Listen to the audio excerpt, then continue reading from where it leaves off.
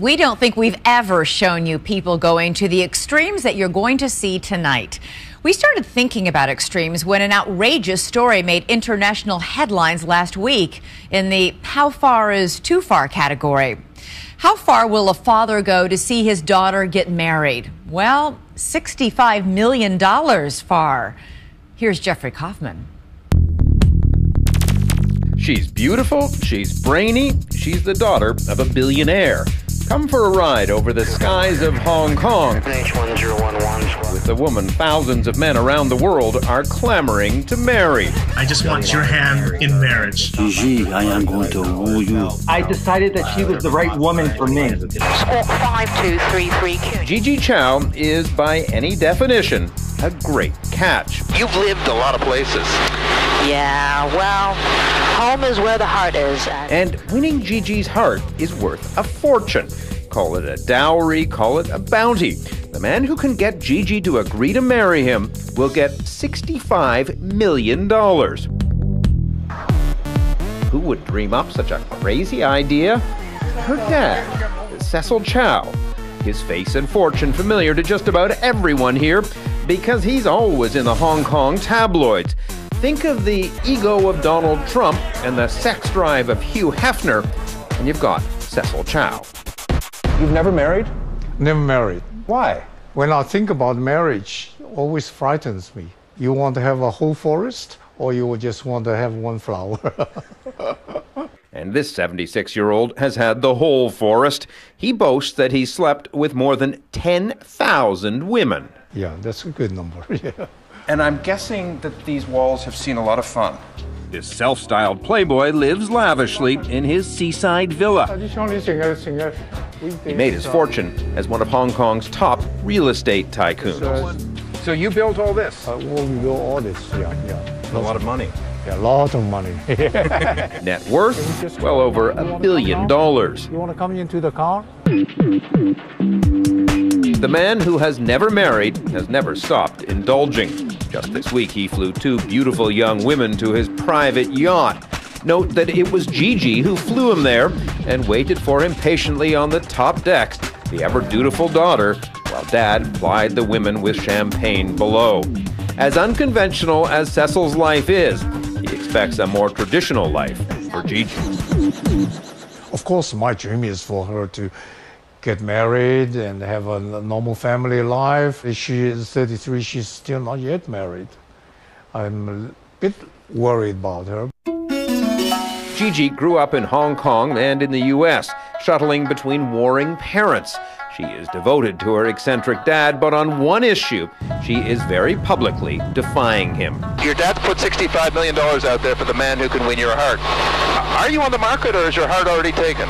My heart is already taken taken by another woman. She is Sean Eav, originally from Cambodia.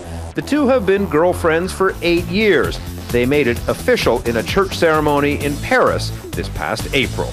Do you consider Sean your wife, your life partner? She is my life partner, yes. Your dad doesn't see it that way. No, he just doesn't understand how anybody can be gay. Did you ever try to have a conversation with your dad and say, "Dad, I'm gay"? No, I don't. I didn't go, "Dad, I'm gay," but I said, "Dad, hey, here's some photos of us. I'm in a happy relationship. I'm really happy." And he just goes, "No, what you're doing is wrong, wrong, wrong." And so he goes, Why don't you go find some guys? I, I don't really care for that. Gigi works in the same office as her dad, but for months she didn't say a word about the commitment ceremony she and Sean had shared in France. She finally told him on her birthday last June. He was surprised and unpleasantly shocked by it. And what did he say to you? He said, why did you do this so impulsively? Um, you shouldn't let people know. Um, you shouldn't announce it. But they did announce, inadvertently, in late September, when Sean was asked by a reporter from the Oriental Daily if the two women really were a couple. and If so, when would they marry? So, will you guys get married? The reporter asks. We're already married, says Sean. The tabloids went wild. Daddy was naturally concerned about this, and so he found it necessary to make an announcement. No, she's not homosexual. She's not, she doesn't have gay tendencies. She's not married. In fact, I'm trying to find a husband for her. I'll offer 500 million. That's in Hong Kong dollars, about 65 million American dollars. What does a man have to be? What does he have to do in order to get $65 million? It's very simple. Gigi must love him, and he must like Gigi. In your eyes, is it not okay for her to be gay? I'm not saying that she's not okay to be gay.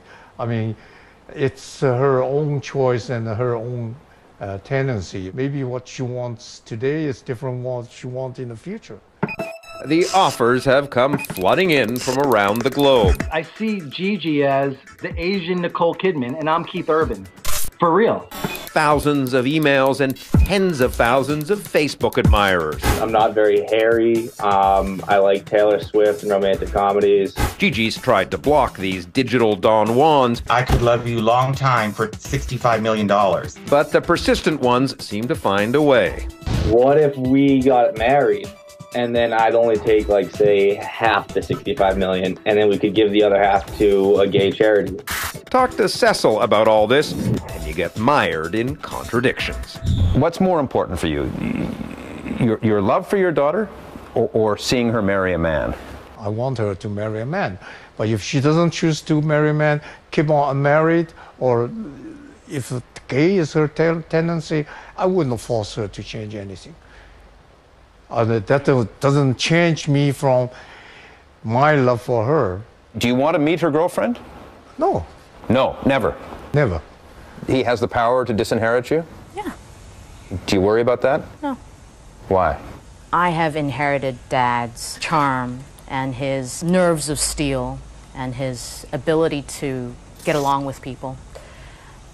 If I inherit nothing more than these traits which he's given me. I'm completely happy with that. Spoken like a perfect diplomat.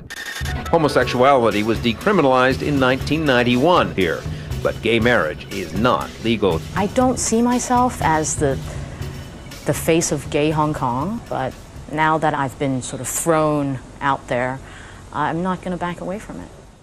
But Gigi makes it clear that she is also not going to walk away from her father. So, are you are you two still talking?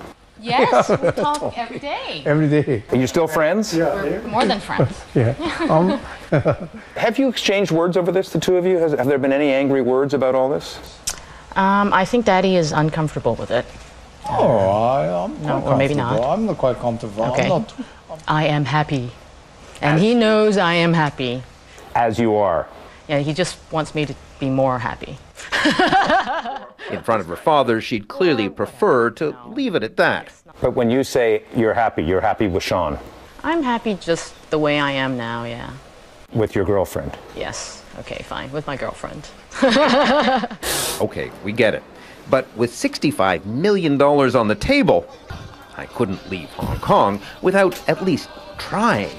I think that'll work. So will you marry me? No. she didn't even hesitate.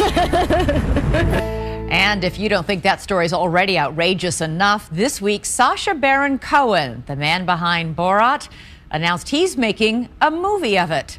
Would you marry a complete stranger for $65 million? Well, go to abcnews.com slash 2020 to cast your vote.